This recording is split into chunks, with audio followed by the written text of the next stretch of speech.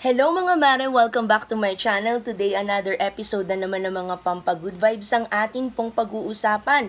Lunis ngayon mga mare, bawal na bawal ang dumaing. Dapat laging positive vibes, good vibes lamang po tayo.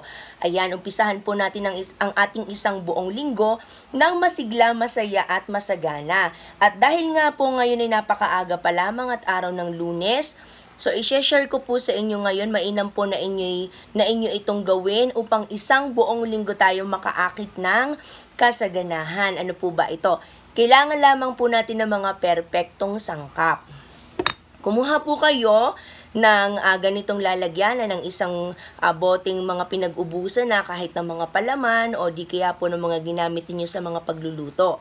Pagkatapos, kakailanganin po natin ng ating cloves at ng ating mahiwagang dahon ng laurel. Kailangan din po natin ng rosemary at saka ng cinnamon bark.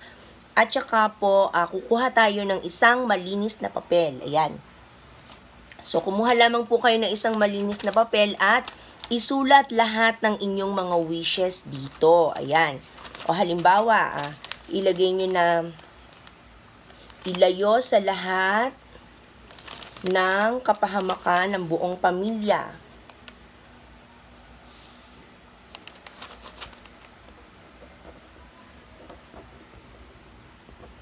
Ayan, magkaroon ng negosyo at dito na yayaman.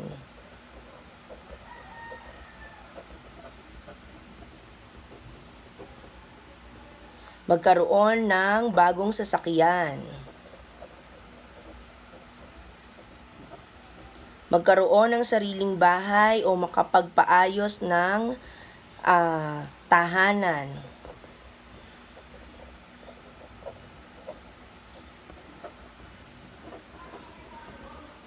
Ayan. Iligtas sa lahat ng sakuna at sa mga taong toxic.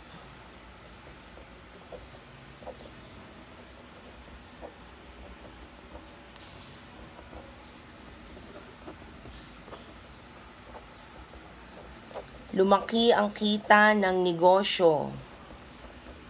Ayan. So, isulat nyo na po lahat ng inyong nais at pagkatapos ay uh, tutupiin po natin iyan. Para dun sa mga estudyante, pwede nyo pong hilingin na makapasa sa aking exam sa isang buong linggo. Ayan, kumuha lamang po kayo ng ganitong bote at ilalagay po natin dito itong ating mga wishes. Pagkatapos, kumuha po tayo ng ating cloves. Ayan. Hmm, itong ating cloves po ay napakabango para po siyang grapes. Ayan. So, kumuha po kayo kahit ilan po. Kung kayo po ay madami, pwede po kayong kumuha kahit ilan. Ayan. Yan po ang itsura ng ating cloves. Pagkatapos, ilalagay po natin ito dito sa ating uh, garapon na nilagay ng ating mga wishes. Ayan, at pagkatapos, lagyan din po natin siya ng rosemary, pinatuyong dahon ng rosemary. Kung wala po kayong pinatuyong dahon, dahil ako po ay may puno ng rosemary, so fresh na fresh po siya, ito po ang aking uh, ilalagay. Ayan, hindi po ako nakabili ng rosemary sa supermarket. Ayan. At napakabango po talaga nito. Nakakahilo ang sarap ng bango. Ayan. Pagkatapos, dahil nandito na rin naman tayo, lagyan na rin natin ng very generous na dahon ng laurel. Ayan, kumuha lamang po kayo ng isang buong dahon ng laurel. Wala na yatang buo. Ayan, medyo maliit pero pwede na din. Pwede nyo po itong sulatan ng inyong buong pangalan. Sulatan nyo po ng inyong buong pangalan.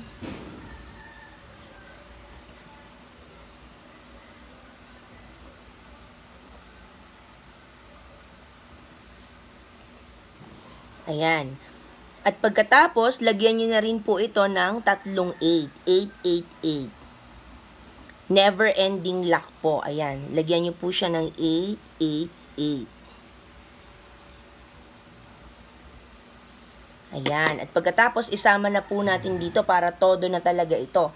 Pagkatapos, lagyan po natin ito ng ating cinnamon. Cinnamon stick. Ayan. Kung wala po kayong cinnamon stick, pwede rin naman po ang cinnamon bark.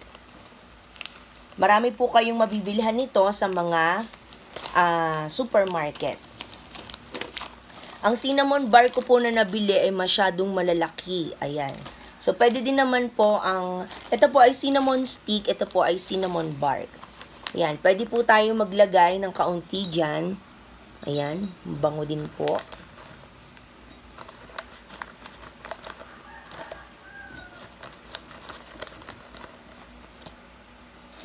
Ayan. Kumpleto na po ang lahat ng ating sangkap. Ngayon, humarap po tayo sa may silangan. Manalangin tayo ng taimtim na sa pamamagitan nitong ating uh, ginagawang ritual na ito ay matutupad lahat ng ating mga kahilingan. Ulit-ulitin nyo lamang po lahat ng mga sinulat nyo doon sa papel.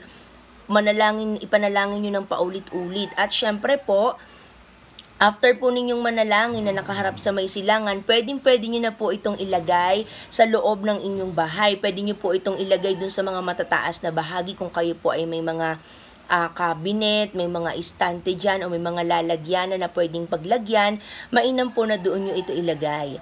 At paglipas po ng mga ilang buwan bago matapos itong taon, pag po kayo ay naglilinis na, maaari nyo po itong buklating muli pagka po sa end ng year na lahat ng mga ginawa nyong ganito na may mga wishes. Ayan. Uh, tingnan po ninyo kung ilan sa mga ito ang natupad na. So malalaman nyo po kung uh, lahat ng inyong mga kahilingan, ilan sa mga to ang nangyari na at natupad na at kayo po mismo ang makakapagpatotoo sa lahat ng mga naganap sa inyo.